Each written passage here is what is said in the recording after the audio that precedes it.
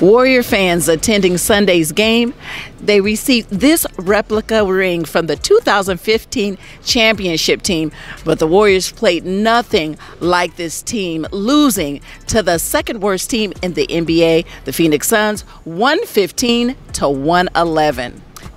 Klay Thompson again had a great game, scoring 28 points.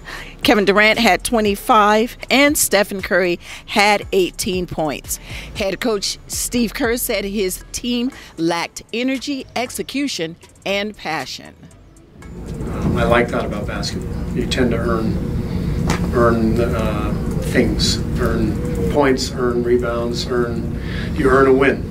We didn't earn a win, so that's the bottom line. Sunday's game was also Filipino Heritage Night.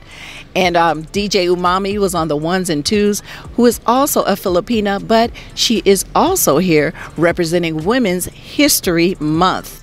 Franco Finn talked about what it meant to be the hype man for the 17th year for the Golden State Warriors and being a positive Filipino image in his community. Well, you know, it, it, means a lot to me because I see little kids, little Filipino boys and girls that are mimicking the starting lineups. I mean, they're all over social media. I'm like, I, got, I had a kid from the Philippines that no. copied exactly my introduction. This kid was five. Years, oh yeah, his name is said, you know, and he was awesome. And there's so many other kids that are doing it because they watch the feed in the Philippines. Yes, that's inside. They don't got commercials. They don't have any of that they have the feed here. So they see all the in-game entertainment and they see their uh, favorite team, the Warriors. So it's been awesome. And it's been over a decade, Filipino Heritage Nights. It's great. We, we've got a female over here. We got DJ Umami on the ones and twos. I mean, it's They've got guys outside haircutting, Filipino brothers oh, out there working, cutting the hair. And, and don't forget, we got uh, you know uh, Sabrina too, uh, who are, uh, who's our dance it. team uh, director. Yeah. She's Pinay and she's 100% proud, and she's the gal behind the Golden State Warriors dance team. And we got some girls on the team as well that are Filipino. So we go deep, man. We love to play ball, and you know, like Steph Curry, he's like our guy because he's like one of us. Like yes, yes. he's not super super tall, he's not super super big, right. but that guy got skills and he's got passion and he's got heart, and that's that's who we are. The Warriors now hold a two game lead over the Denver Nuggets in the Western Conference. And unfortunately, it doesn't get any easier for them.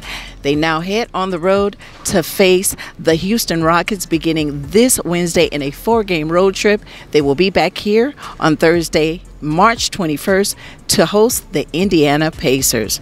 So the Warriors have a lot of uh, soul searching to do and a lot of rehabbing to do. Hopefully, things will get better when Andrew Bogut, who was on the 2015 championship team, He's going to be coming here from Australia. He has to work through some visa issues, and he's going to be joining the team on the road. He knows the system, so we'll see how that turns out.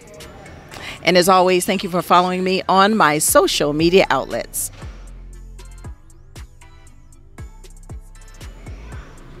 Here at Oracle Arena in Oakland, this is Felicia Purcell for Sports in the Bay.